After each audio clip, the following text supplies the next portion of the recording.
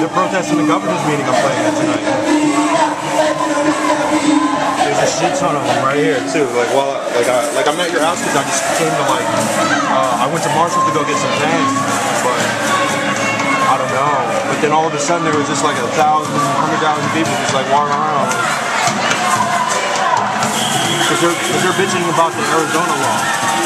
But now they know they're on camera. Look. Oh my God. They're like. so, but, all right, all right. But I'll let you go.